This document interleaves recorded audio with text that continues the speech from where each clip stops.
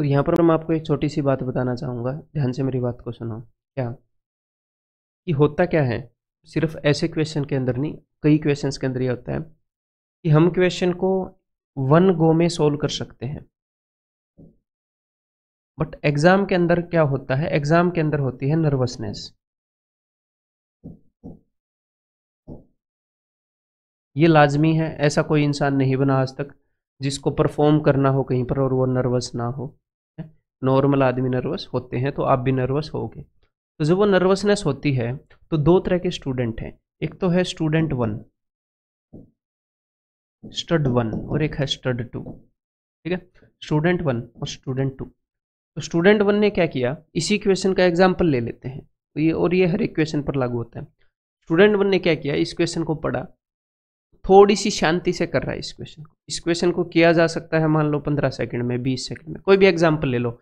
मान लो ये क्वेश्चन जो है, ये बीस सेकंड में किया जा सकता है, जब आप घर पर सॉल्व करोगे। लेकिन एग्ज़ाम में नर्वसनेस है तो स्टूडेंट वन ने क्या किया इसे? बीस की बजाय इसे पच्चीस सेकेंड में सोल्व किया। मैं एग्ज़ाम्पल ले रहा हूँ, चाहे आप इसे बीस में करो, पंद्रह में करो, तीस में करो। I am just taking an example student one ने इसे पच्चीस सेकंड में क्यों किया? क्योंकि वो पेपर में गलती भी नहीं कर सकते ना। थोड़ा सा शांति से कर रहा था? और तो उसको थोड़ा सा टाइम लग गया देखो। वन फोर्थ पच्चीस परसेंट ज़्यादा टाइम लग गया। लेकिन स्टूडेंट टू नर्वस है और उसको क्या है कि उसको एग्ज़ाम के अंदर टाइम बचाना है। उसको पता है ये क्वेश्चन उसे आता है। तो यहाँ पर उसने कि भाई, जल्दी से रगड़ के आगे बढ़ते हैं। तो यहाँ पर इसने ले लिए जी, मान लो पंद्रह सेकेंड इस भाई ने पंद्रह सेकेंड बचा लिए। बट आंसर गलत आ गया। कहीं पर प्लस की जगह माइनस हो गया, कहीं पर डिवीज़न इसने पहले कर दिया ऑफ़ से थोड़ी सी जल्दबाजी कर दी तो आंसर गलत आ गया। अब आपको क्या लगता है, ये स्टूडेंट इस क्वेश्चन को छोड़कर जाएगा? नहीं जाएगा छोड़कर क्यों? क्योंकि आता तो है, इसमें है क्या? ये फिर से लगा कि यार, ये भी गलत हो गया, है? इसने फिर से, मान लो पंद्रह सोलह सेकंड लिए, सत्रह सेकंड लिए, फिर से गलत हो गया। क्योंकि पंद्रह सेकंड का क्वेश्चन तो है नहीं, है तो बीस सेकंड का। अगर नॉर्मल तरीके से करें स्पीड फाइव है स्पीड फास्ट आप पंद्रह में कर सकते हो बट जल्दबाजी में गलती हो रही है। तो यहाँ पर इसने क्या किया? अब छोड़ के जा सकता है, नहीं छोड़ के जा सकता, क्यों? क्योंकि क्वेश्चन आसान है। जी, अब इसने शांति से किया, है? इसने पंद्रह के बजाय तीस सेकंड लिए। अब ये, इसने पच्चीस सेकंड क्यों नहीं लिए? क्योंकि अब ये डरा हुआ है कि बार बार गलती हो रही है, बिल्कुल केयरफुली कर रहा है। तो टोटल कितना टाइम ले लिया? एक मिनट इसने कितना लिया? पच्चीस सेकंड ऐसा बहुत सारे स्टूडेंट करते हैं ये। और पता है कौन से क्वेश्चंस में करते हैं? उन क्वेश्चंस में कर सकते हैं जिसको ये दोनों स्टूडेंट सोल्व कर सकते थे।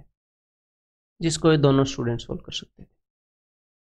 इसको भी उतनी नॉलेज है, इसको सोल्व करने की इसको भी उतनी नॉलेज है, फिर इसने ऐसा क्यों किया? ऐसा इसलिए किया क्योंकि एक तो इसको हड़बड़ाहट हो गई थी, इसको जल्दी तैयारी करनी है और आजकल स्टूडेंट्स का माइंड सेट है कि 10 सेकंड में क्वेश्चन को उड़ा देंगे 20 सेकंड में क्वेश्चन को उड़ा देंगे एक एक सेकंड कीमती है।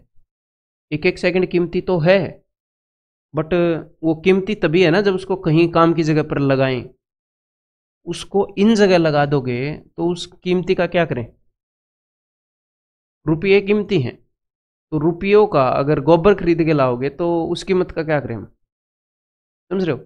ऐसी चीज़ खरीद कर लाओगे। तो समय कीमती है, बट हमें एग्ज़ाम के अंदर थोड़ा सा काम रहना ज़रूरी है। तो आप जब भी प्रैक्टिस करते हो, अब आप बोलोगे, सर एग्ज़ाम में काम रहना तो ज़रूरी है बट जब हम घर पे हैं तो अब हम ऐसा क्या करें कि हम एग्ज़ाम में काम रहें? तो आजकल क्या है, आजकल ऑनलाइन हम यूट्यूब पर पढ़ते हैं लाइव सेशंस देखते हैं स्टूडेंट तो वहाँ पर टीचर उनको 30 सेकंड का टाइमर दे देता है 45 सेकंड का टाइमर दे देता है तो वहीं से उनको आदत हो जाती है कि हाँ हाँ पैंतालीस सेकंड में करना है, पैंतालीस सेकंड में करना है, ऐसे। वहीं पर उनको आदत हो जाती है। वहीं से कामनेस की आदत नहीं होती। जब भी आप चीज़ें सीखते हो ना तो कहीं पर भी ऐसी जगह मत सीखो जहाँ पर हड़बड़ी में आपको सीखना पड़ रहा है। सीखते वक्त हमेशा टेक योर टाइम जब क्वेश्चन आप सीख रहे हो परसेंटेज सीख रहे हो ट्रिग्नोमेट्री सीख रहे हो तो दोस्त, उस दिन, जिस दिन आप सीख रहे हो, उस दिन ये क्वेश्चन 25 सेकंड में नहीं करना, उस दिन बेशक से दो मिनट में कर लो। आज हम सीख रहे हैं। उसेन बोल्ट को जिस दिन तैयारी शुरू की थी, उसी दिन ओलंपिक के टाइम पर नहीं भागना था। अभी तो तैयारी करनी है, धीरे धीरे धीरे धीरे टाइम कम होगा, धीरे धीरे स्पीड बढ़ेगी। लेकिन स्टूडेंट सोचते हैं, पहले दिन से ये क्वेश्चन तो मैं करूँगा जी तीस सेकंड में। नो एग्ज़ाम नहीं क्रैक होगा दोस्त, अगर मेरी बात को आप समझ पा रहे हो तो। सीरियसली दिल पर लो इसी बात को। सीखते वक्त हमेशा काम रहना है, कभी भी टाइम को देखना ही नहीं है, कभी भी नहीं देखना। हमने ऐसी हैबिट बनानी है कि हम एक बार क्वेश्चन के अंदर से निकले, बेशक से हम दो सेकंड तीन सेकंड चार सेकंड पाँच सेकंड दस सेकंड एक्स्ट्रा ले लें। बट हमारा ठीक हो जाए दोस्त।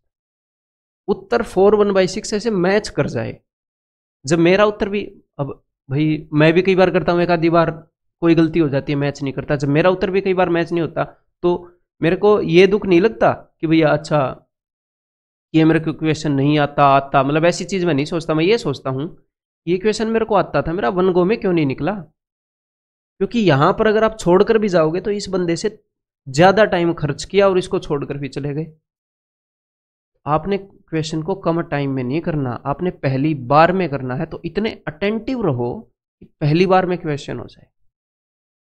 समझिए पहली बार में क्वेश्चन हो जाए।